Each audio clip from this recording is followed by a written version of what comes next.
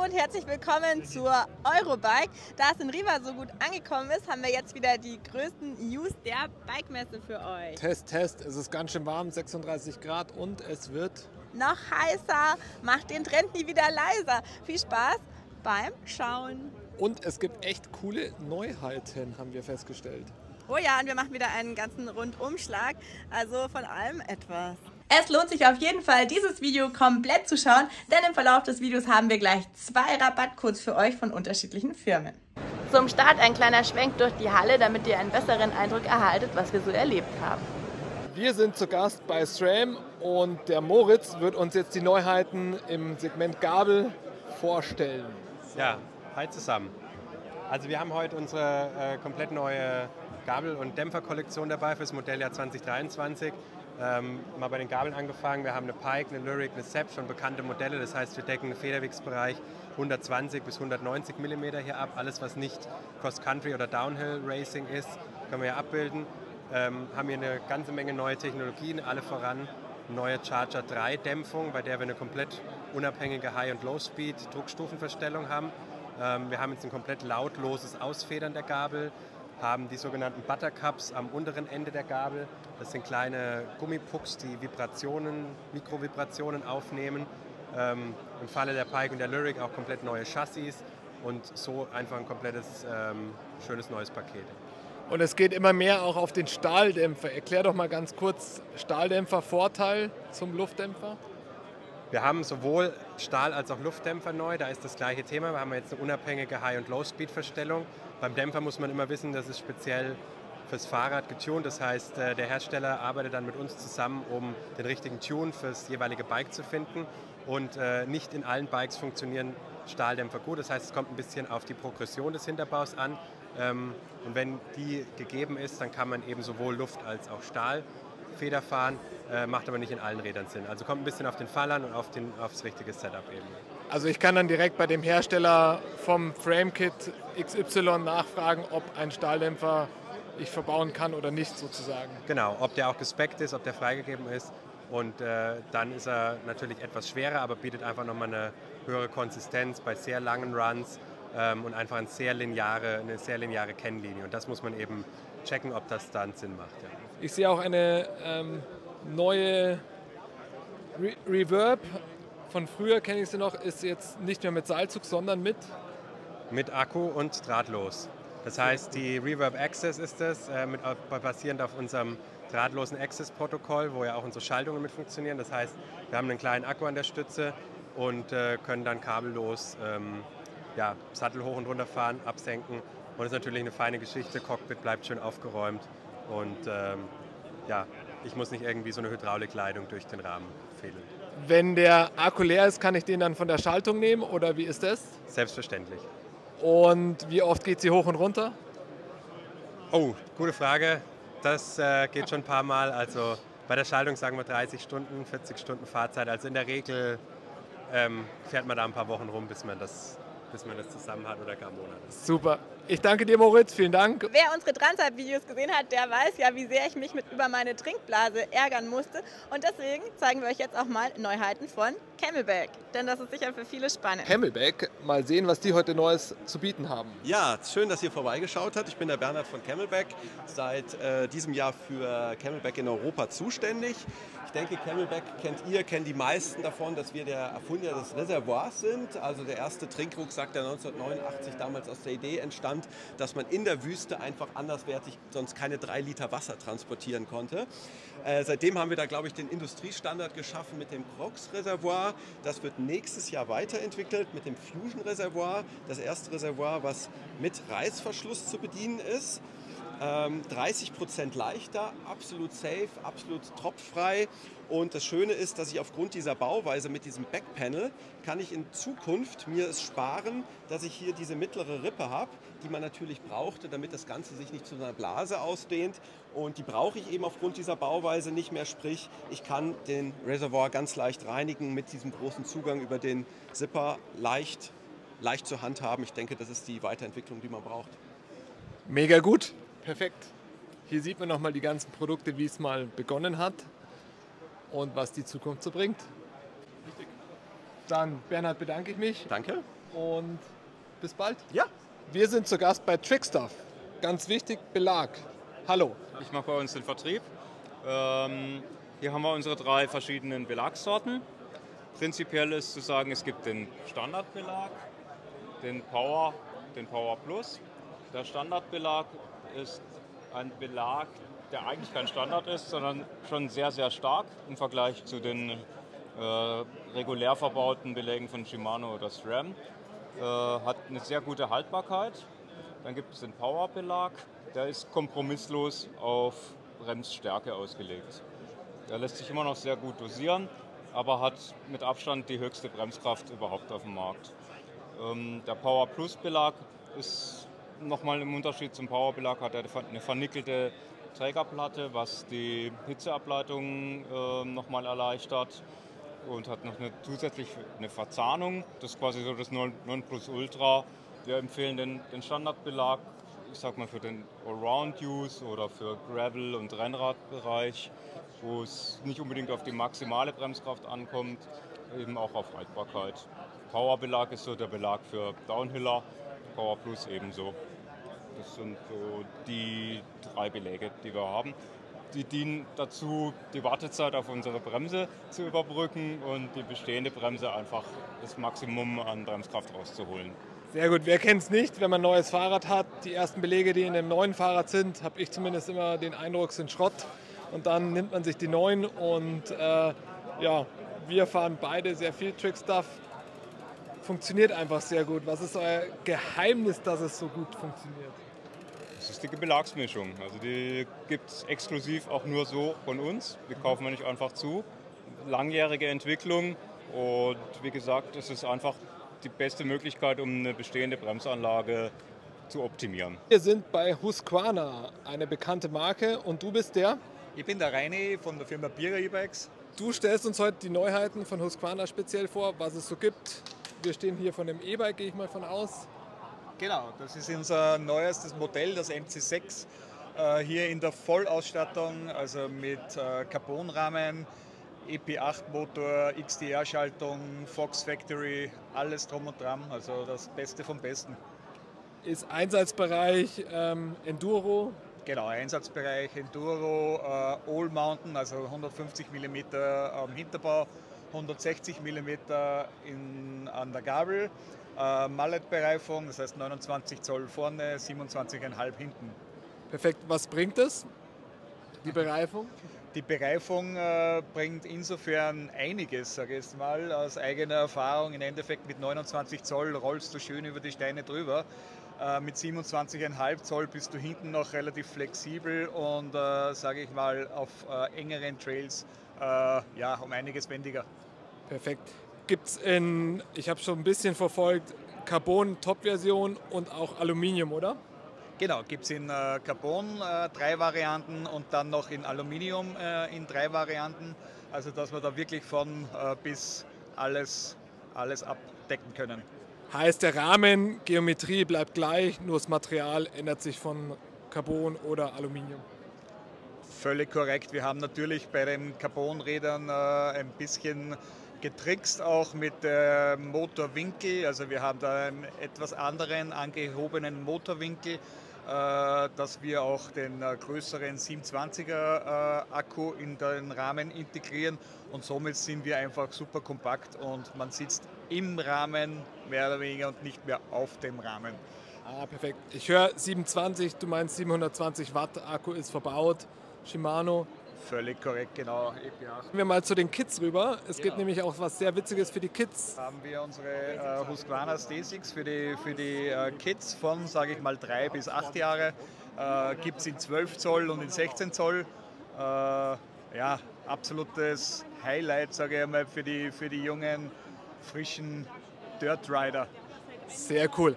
Für alle, die nicht dabei sein konnten, haben wir natürlich auch ein paar Impressionen von der Messe für euch. Und gerade dieser Jeep ist uns besonders ins Auge gestochen. Aber auch hier natürlich die Motocross bei Cosmic Sports ein Highlight. Gerade entdeckt, mega lässig, das Gewinnerfahrrad vom diesjährigen Mega Valanche in Alpe d'Huez von Stefan Peter. Noch dreckig, ungewaschen sozusagen. Äh, ja, ich wünschte, den Status hätte ich auch, dass mein Fahrrad dann einfach ungewaschen ausgestellt wird. Ich denke, der hat jetzt noch ein anderes Fahrrad zum Fahren. Wir sind bei SR Santo, herzlich willkommen. Äh, SR Santo gehört zu den größten Federgabelherstellern äh, der Welt. Wir sind zwar bekannt meistens von den äh, Citybikes, E-Bikes, äh, Commuterbikes, aber was viele nicht wissen, ist, dass wir auch im Rennsport sehr erfolgreich sind. Wir haben die, das olympische Gold letztes Jahr gewonnen in Cross Country und äh, erst vorletzte Woche bei der Mega Avalanche auch den äh, Sieges, Siegertitel geholt. Ähm, gleich auch ähm, mit der neuen Duolux 38 Gabel. Das war äh, Glück und äh, auch ein bisschen ähm, ja, natürlich Performance. Uh, unser uh, Fahrer hat letztes Jahr schon die Mega Avalanche gewonnen und da haben wir gesagt, er muss auf jeden Fall das neue Produkt fahren. Und siehe da, er hat auch dieses Jahr den Titel geholt.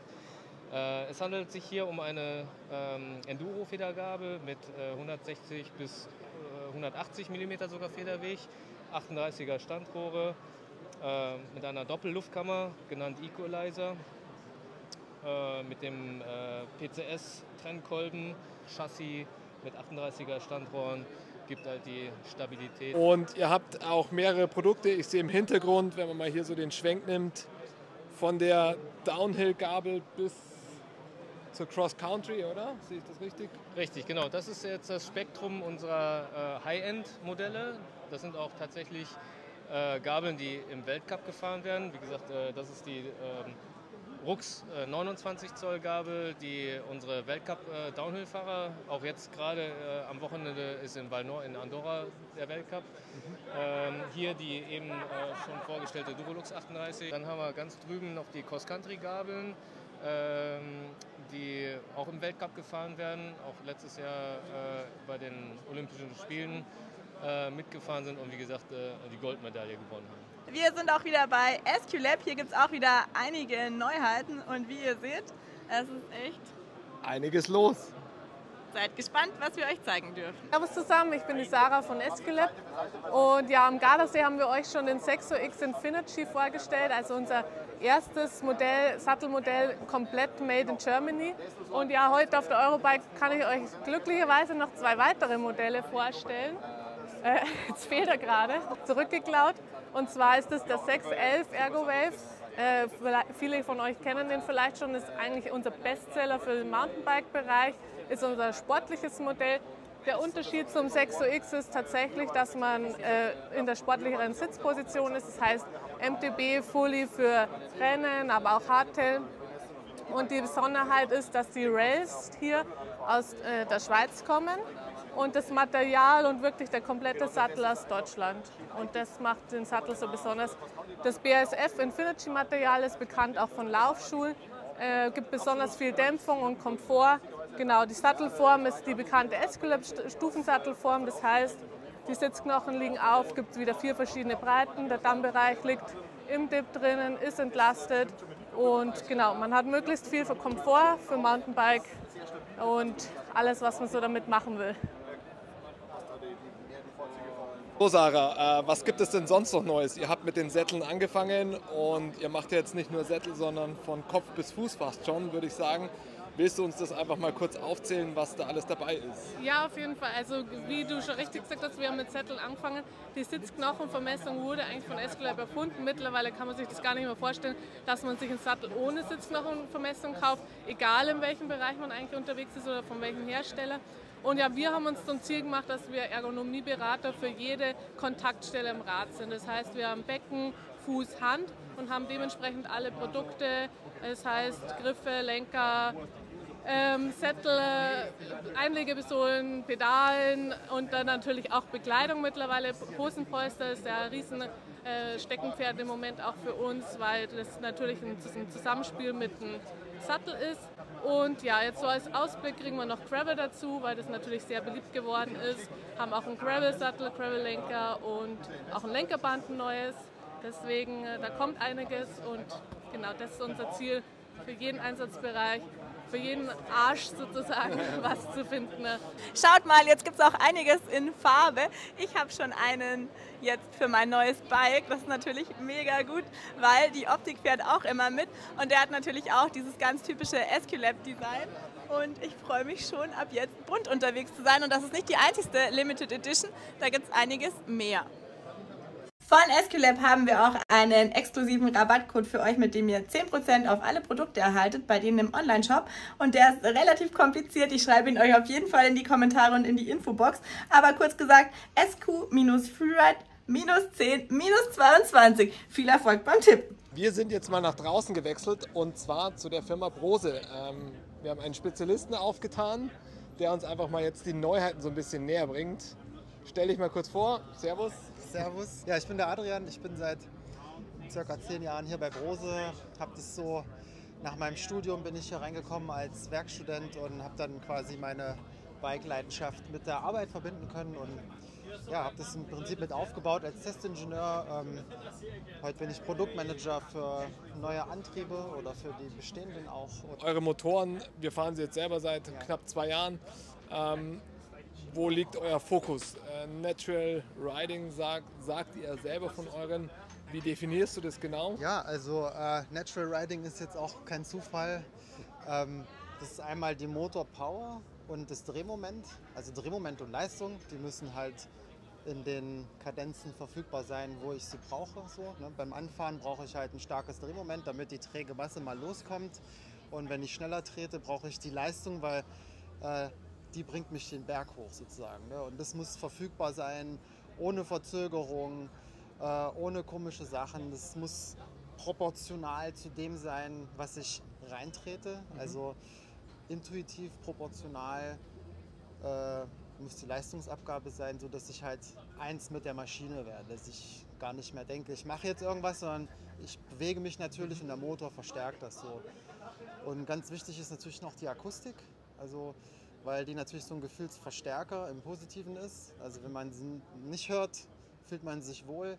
Wenn man bestimmte Frequenzen und Klangfarben hört, fühlt man sich unwohl. Also das ist eigentlich das Natural Riding. Die Power, Verfügbarkeit, Dosierbarkeit plus Akustik. Mal sehen, was es hier für die Blogger gibt. Mal sehen, ob wir das überhaupt sind. Damit die Blogger nicht verhungern und Kaffee, weil da gibt es ja sonst noch nicht genug. Keine News, aber ein kleiner Fun Fact. Jetzt gibt es ein Rennen. Eine Minute. Wer schafft mehr? Im Sprinten bin ich nicht so gut, aber ja, ihr wisst, Vielleicht ich, ich liebe Chance. Wettkämpfe, deswegen los geht's. You're ready. Are you ready? Okay. Are you ready? Yeah. Okay, I'm going to count from three to one, and I'm go, yeah. you go. Three, two, one, go! Oh, come on, come on! Das wirkt so einfach, aber wenn man sich da ein bisschen bemüht, dann ist es echt hart und man konnte sehen, wie weit der andere vorne ist. Und ihr werdet es nicht glauben, noch bevor ich mich orientiert habe, fast wie beim Battlefield Computerspiel Abschießstil, wo ich nur den Boden abschieße, habe ich gar nicht so schnell schauen können, da war der Nico schon gut im Vorsprung zum Kotzen. Und dann habe ich mich bemüht, so gut ich konnte, aber äh, ihr seht ja selber, ob ich es noch schaffen konnte oder nicht. Steht bemüht. You need to stop, but don't give up. Keep going, keep going, keep going. Till the finish. Only 100 meters left. Almost there. This is the easy part. Come on. Dazu harder, kommt, dass Nico den besseren Fanclub hatte. Den hat er sicher bezahlt. Come on, come on, come on, Yeah! You did it! Woo! You did it. Okay, now you awesome job. Also Nico hat gewonnen. Sprinten kann er einfach viel besser. Aber sowas ist immer witzig. Macht das mit, falls es irgendwo geben sollte kann ja nicht mehr atmen. Alter Schwede. Jetzt, wenn wir schon hier sind, schauen wir uns natürlich auch noch das neue elektronische Fahrwerk an. Was gibt es denn da zu wissen? Ja, unser Flight Attendant Fahrwerk von RockShox äh, ist unser erstes elektronisches drahtloses Fahrwerk. Das heißt, äh, Gabel und Dämpfer erkennen, ob ich gerade auf dem Trail bin, ob ich gerade berghoch pedaliere und straffen das Fahrwerk dann, gehen also in den Pedal Mode oder in den Lockout ähm, und bringen dir einfach ein viel effizienteres Fahrgefühl. Ah, das heißt, wenn ich so eine Art Lockout-Funktion habe, dann muss ich das nicht mehr bedienen, sondern das macht dann das für mich elektronisch. Genau, du kannst es nie wieder vergessen. Es schaltet sehr schnell um, sehr oft um. So oft könntest du in der Praxis gar nicht umschalten. Du kannst halt dann auch so ein Bike wie das Capra hier mit 170 mm halt easy hochpedalieren, weil es halt super effizient ist. Ah, cool. Und wie ist genau die Technik? Also wie ist es so aufgebaut?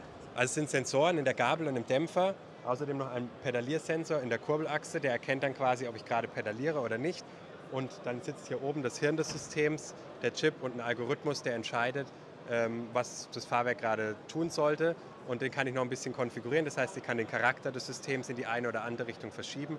Wir haben aber das Ziel, dass das Bike möglichst immer offen ist. Das heißt, ihr braucht keine Sorge haben, wenn ihr auf dem Trail seid, dass es irgendwie blockiert ist. Wenn ihr gerade äh, im Steinfeld oder auf dem Drop seid, keine Sorge, es ist auf jeden Fall offen. Und wenn es dann eben die Forststraße auf der anderen Seite wieder hochgeht, dann macht es eben zu und äh, ist dann schön straff. Wir sind wieder bei Alpina, denn wir haben gesehen, dass Farben Einzug gehalten haben bei euch. Das sind quasi die gleichen Helme, mit denen wir jetzt immer unterwegs sind, aber in bunt, oder? Genau, wir haben für nächstes Jahr eine Kooperation mit Michael China. Da haben wir ein Artwork auf die Helme übertragen und auch auf die Sportbrillen. Und ähm, das Ganze sieht dann zum Beispiel beim Routage Evo, unserem Drop-Down-Jethelm, so aus. Ähm, damit wird man auf jeden Fall gesehen auf dem Trail und ähm, hat einen ganz individuellen Look. Bei den Brillen ist es tatsächlich so, dass jede Brille ein Unikat ist. Ähm, die werden in Tauchbecken getaucht, um sie einzufärben. Und so ist keine wie die andere. Und man hat ein Einzelstück von Alpina, wenn man so eine Brille sich dann kauft. Mega gut. Und schaut mal, dass der Helm, mit dem ich über die Alpen gefahren bin, den gibt es jetzt auch mit Farbe. Wow. Also finde ich echt noch cooler. Mega schön. Ja, und dann habe ich gehört, ihr seid auch Richtung Made in Germany gegangen bei einigen Produkten. Pina ist ein deutsches Unternehmen und ähm, die produzieren ähm, auch schon immer in, in Deutschland. Ähm, was natürlich jetzt in den letzten Jahren auch ein noch äh, größeres Thema geworden ist, weil Lieferkettenprobleme ähm, hatten wir bei den Helmen, die in Deutschland gemacht werden, dann natürlich nicht, weil auch alle äh, Anbauteile und Materialien kommen aus der Umgebung. Ähm, spart super viel CO2 ein, ähm, was natürlich gerade auch das Thema der Stunde ist, dass die ganzen Helme nachhaltig werden, so gut es eben geht. Also die Linie ist Made in Germany, oder? Genau, das ist der, der Soho, unser neuer Urban-Helm mit einer Hartschale zu einem super Preispunkt von 69 Euro. Ähm, Gibt es in schönen, vielen matten Farben auch, damit jeder sein, ähm, seine Persönlichkeit auch auf, mit der Helmfarbe ausdrücken kann am besten top. Ab jetzt wird es bunter. Für die Kids gibt es auch einige Neuheiten. Genau, wir haben zum einen im Eyewear-Bereich die Rocket Youth. Wir haben ja für die Erwachsenen letztes Jahr schon die, die Rocket und die Rocket Bolt vorgestellt. Und das ist jetzt einfach eine, eine schmalere und auch nicht ganz so hohe Brille für, für Jugendliche, dass die äh, denen auch passt und die auch in dem Style der äh, Eltern und Erwachsenen oder ihrer Vorbilder über die Trails ballern können. Sehr cool. Und die Helme sind auch neu, habe ich gehört, oder? Genau, hier haben wir auch eine Ergänzung im Portfolio mit dem Rupi heißt der. Ähm, in Kinder Freeride Fullface Helm. Ähm, das Besondere daran ist, dass man den Kinnbügel abnehmen kann. Man drückt hier einfach auf den Knopf raus, packt den raus und hat hier dann einen vollwertigen ähm, Halbschalenhelm, aber mit einem tiefer gezogenen Heck für maximalen Schutz, super Ohrenschutz, ein Shield vorne dran für den Dreck. Und die Sonne natürlich auch, um die abzuhalten. Wir haben hinten ein Run-System verbaut, mit dem sich der Helm dann nochmal anpassen lässt, weil das ist immer das Wichtigste, dass der Helm den Kindern dann auch passt von der Passform und durch die Anpassbarkeit mit drin. Ja, und wenn euch das jetzt gefallen hat, dann gibt es auch einen Rabattcode von uns für euch mit Free 2022. Ich schreibe es euch auch nochmal in die Kommentare und in die Infobox. Bekommt ihr nämlich 20% bei Alpina. Wir sind jetzt hier bei Garmin, denn wie ihr wisst, navigieren wir ja immer noch mit dem Handy. Doch jetzt haben wir einen Fachmann von Garmin, der wird euch erklären, warum es sinnvoll wäre, mit einem dieser Geräte zu navigieren. Ja, hallo, äh, mein Name ist Fabian von äh, Garmin. Ich bin für den Bike-Bereich zuständig und ähm, stelle euch heute mal die ähm, beiden Neuheiten vor. Zum einen die Edge 1040 Serie und einmal den heute gelaunchten ähm, Edge Explore 2. Ja, ähm, fangen wir gleich mit dem ähm, auffälligsten Feature beim äh, 1040 an.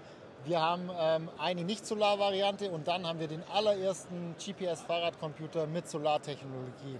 Ähm, wir sprechen hier von einer Akkulaufzeit von bis zu 45 Stunden ähm, bei intensiver Nutzung. Das heißt, es, sind, es ist die Navigation an, es sind Sensoren gekoppelt und ähm, ja, ich habe ähm, die Bildschirmhelligkeit relativ hoch, also wirklich eine intensive Nutzung bis zu 45 Stunden. Aber auch der ähm, normale ähm, Edge 1040 hat eine Akkulaufzeit von bis zu 35 Stunden und ähm, ja, ist daher auch ähm, ja, wirklich ähm, ein richtiger Dauerbrenner. Der Edge Explorer gibt es auch zwei Varianten. Eine ähm, Variante mit ähm, Power Pins und eine ohne Pins. Ähm, die mit Pins ermöglicht ein Laden direkt am E-Bike. Und ähm, so muss ich als Nutzer meinen Radcomputer nie mehr vom, vom Lenker nehmen. Hier mal ein kleiner Vorgeschmack von den Produkten von Ein. Da wird es aber noch ein eigenes Video aus dem Showroom geben. Und was ich euch schon mal sagen kann, wir fahren ja normalerweise Clickies, da haben die auch was am Start. Ich bin schon selbst sehr gespannt, wie das genau aussehen wird. Na, wir müssen jetzt gerade darum äh, kämpfen, dass wir noch eine Rundfahrt drehen dürfen auf diesem Rade. Er glaubt uns doch nicht sogar, dass wir einen YouTube-Channel haben. Ja, die klappt. Ich danke dir. Seid ihr live oder was? Nein, noch nicht.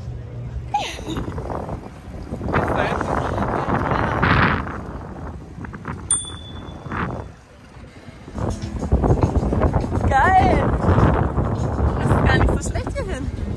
Besser als ich dachte. Sonst würde ich ja mehr der Selbstfahrer. Ja, also es ist so leer, weil die Testfahrten schon fast beendet sind, aber es ist natürlich geilo. Und da bin ich hinten drauf gesessen.